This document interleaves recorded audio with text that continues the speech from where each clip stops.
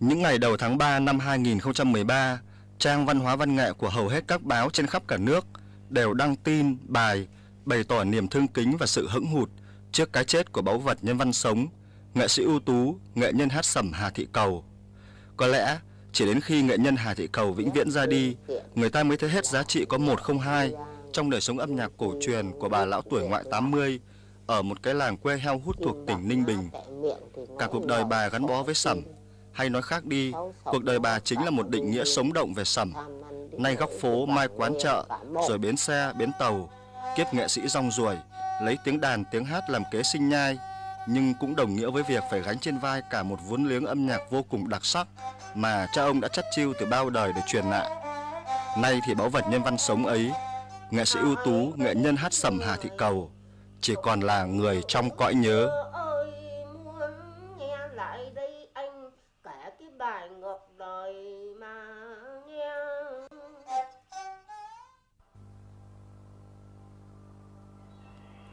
Nghệ nhân Hà Thị Cầu, tên thật là Hà Thị Năm, sinh năm 1928 tại huyện Ý Yên, tỉnh Nam Định, trong một gia đình ba đời hành nghề hát sẩm. 8 tuổi, bà đã bê chiếc thau đồng theo cha mẹ đi khắp các chợ quê hát sẩm kiếm sống. Năm 16 tuổi, bà về làm vợ ông trùm sẩm Nguyễn Văn Mậu, khi đó là trưởng sáu gánh hát ở Ninh Bình, cùng chồng rong ruổi đi hát khắp các nơi. Và chỉ khi bước vào tuổi 80, bà mới kết thúc công việc hát rong của mình. Nghệ nhân Hà Thị Cầu vốn không biết chữ, nhưng lại thuộc rất nhiều câu nói dân gian và đặc biệt rất hóm hình. Bà cũng là người lưu giữ nhiều làn điệu cổ của nghề và có thể đặt lời mới mang hơi thở thời đại cho nhiều làn điệu sẩm truyền thống. Trong nghệ thuật hát sẩm, bà được đánh giá như một pho sử sống, một nghệ nhân với cách hát, cách chơi đàn vô cùng độc đáo, gần như có một không hai.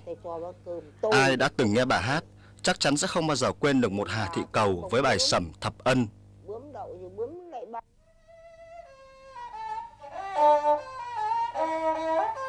Mẹ mới có thai, kể từ một em con ơi thì mẹ mới có thai. Em không nhị khi để nào, ai biết gì nơi thì trong lòng con ơi mẹ chịu sầu bi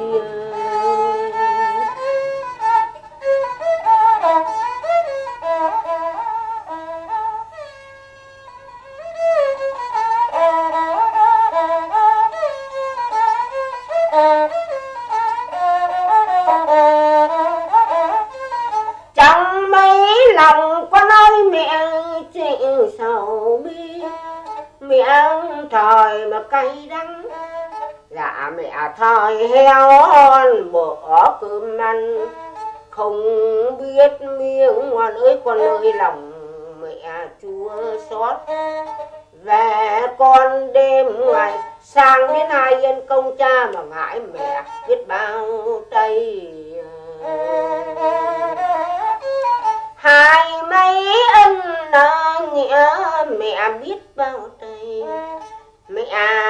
con chín tháng để có thai, mẹ nặng nề. Thương con mẹ đi sớm về chửi con ơi của ngon vật lạ. Chả hề mẹ ước ao mang mấy, mẹ cùng con khó nhọc đã ôm lòng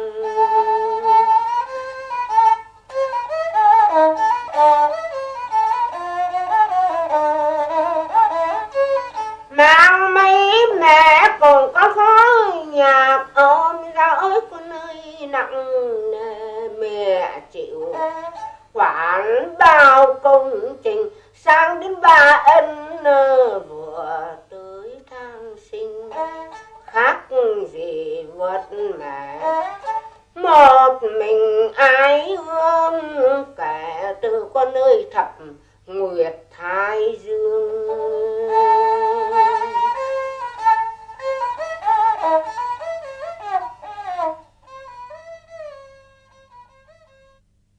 Phải nói là nếu không có một cái cuộc đời ba chìm bảy nổi như bà thì bà không hát thập ân sâu và xúc động thế. Nó đòi hỏi cái cái kinh nghiệm và cái cảm xúc cụ thể của người trình diễn. Thì cái đó là người khác bây giờ không có được.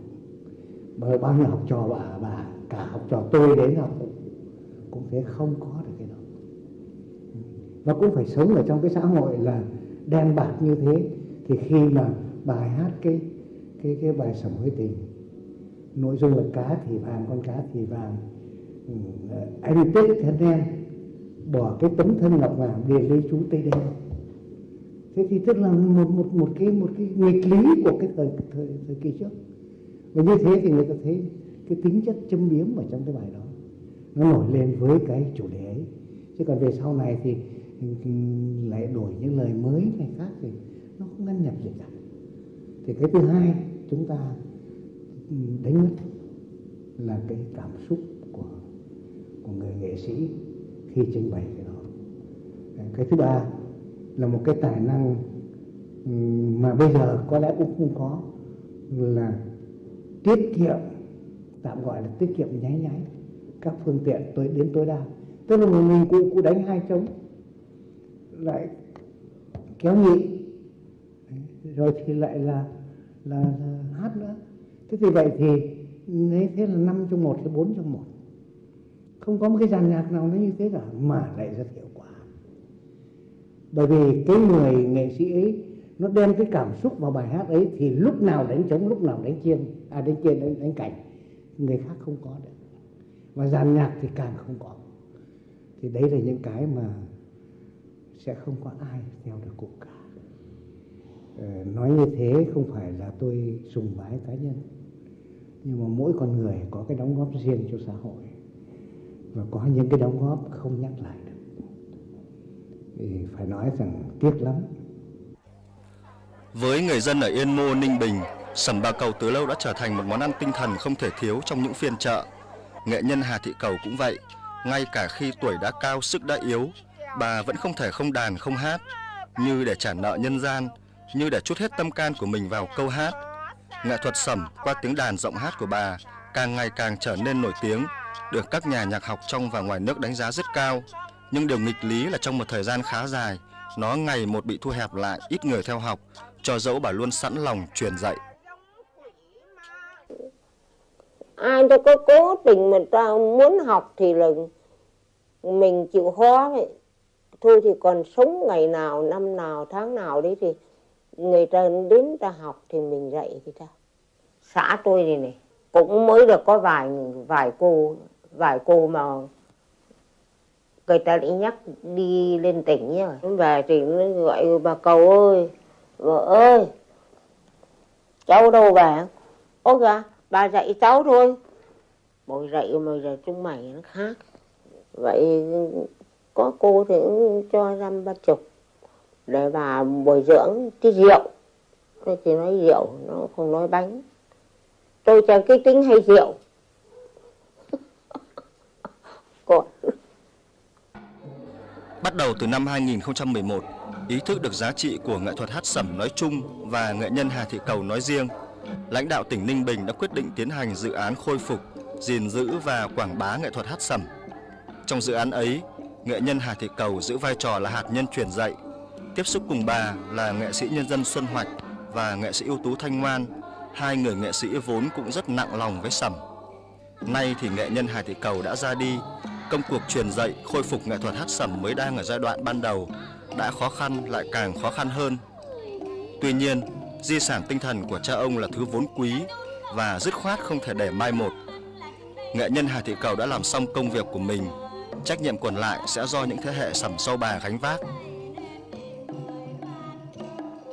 Nghệ nhân Hà Thị Cầu đã cùng với nghệ sĩ nhân dân Xuân Hoạch và Thanh Ngoan đã khôi phục, gìn giữ với nhà hát trèo Ninh Bình những cái làn điệu sẩm cơ bản. Và trong năm 2012 theo dự định thì là sẽ ở trong giai đoạn 2 là phát huy phát triển nghệ thuật hát sẩm với đến toàn tỉnh và đến với đông đảo người dân ở trong Ninh Bình và các tỉnh lân cận. Nhưng mà năm 2012 thì chưa làm được cái dự án này ờ, bởi một cái lẽ tức là thứ nhất là sức của cụ yếu rồi là ờ, còn nhiều những cái công việc bề bộn mà chưa thu xếp được. Thế và tôi cũng hy vọng rằng là trong thời gian tới thì tiếp tục cái công việc của cụ mà cụ chưa làm chọn được mà cụ gửi gắm lại thế hệ sau không phải riêng tôi mà với tất cả những người yêu sẩm à, ờ, đặc biệt là với người dân ninh bình thì vẫn có những cái gương mặt mà sau thế hệ của nghệ nhân hà thị cầu thì có những gương mặt tôi cũng đã nhìn thấy những cái hạt nhân mà có thể gìn giữ được sẩm. À, bên cạnh đó thì chúng ta phải nói thẳng rằng là sẩm không riêng gì của ai mà của nhân loại và là trong vốn cổ truyền của nghệ thuật ừ, nước nhà. À, một cái sự ra đi của cụ là một cái sự mất mát. À, thực ra thì với những nghệ nhân mỗi một nghệ nhân ra đi là mang theo cả một kho tàng mang theo tất cả những cái mà những người khác không thể làm được. Nhưng nói như thế không có nghĩa là chúng ta dừng lại ở đây. Ừ, bởi vì quan điểm của tôi rằng là ờ, là một cái thế hệ đi sau, nắm bắt được ngoài cái sự truyền dạy của nghệ nhân Hà Thị Cầu. Bên cạnh đó thì còn có những cái sưu tầm của các nghệ nhân khác nữa. Và chúng tôi chỉ có nói một điều rằng không thể ai cũng làm tất được cả, nhưng mà chúng tôi sẽ nỗ lực hết mình trong những cái việc, tức là những cái văn bản nào, những bài bản nào của cụ cụ đã truyền dạy và thu lượm nữa thêm trong viện nghiên cứu và trong cái kho tàng của chúng ta có những cái gì là quý báu của nghệ thuật hát sẩm nói riêng và nghệ thuật truyền thống nói chung để chúng tôi tiếp bước cái ngọn cờ mà cũng mong muốn rằng là nghệ thuật hát sẩm sẽ sống mãi. Kiếp nghệ sĩ cũng như kiếp quan tầm nhà tơ, tiếng đàn tiếng hát vốn được ca ngợi rằng có một không hai của nghệ sĩ ưu tú nghệ nhân Hà Thị Cầu chính là tiếng tơ lòng mà bà đã trải ra với nhân gian. Hoàn toàn xứng đáng để chúng ta căn cứ vào đó mà tôn vinh bà là một báu vật nhân văn sống. Nay thì báu vật nhân văn sống ấy đã về cõi vĩnh hằng, chỉ còn lại dư ảnh, chỉ còn lại nỗi nhớ về bà trong tấm lòng người tha thiết với âm nhạc cổ truyền Việt Nam. đơn kiện